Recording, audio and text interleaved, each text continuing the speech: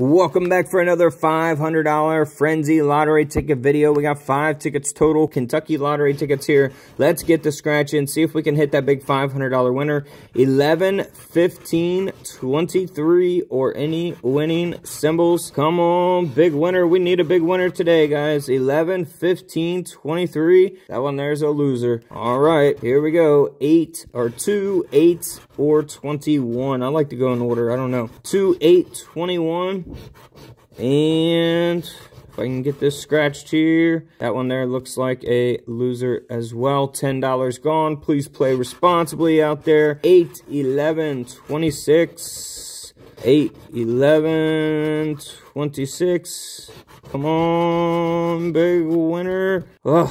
Man, three losers in a row, $15 gone just like that. So can definitely lose a lot of money doing this, guys. 10, 22, 23. Come on, big winner, big winner, big winner. And last row, 23. We finally hit a winner here. How much is it going to be? $10 winner. All right, we'll take it. Down 15, though. We're going for a back-to-back -back winner here.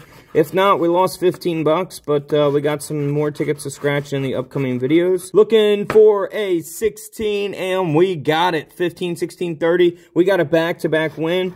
All right. See if we can add to it here. 15, 16, 30. Nothing there. Here we go. 16, $5. So $15 back out of 25. We will take it. We got some Clover Cash to scratch in the next video. Make sure you guys come back for that. Thank you guys so much for watching this one. As always, I'll see you in the next one.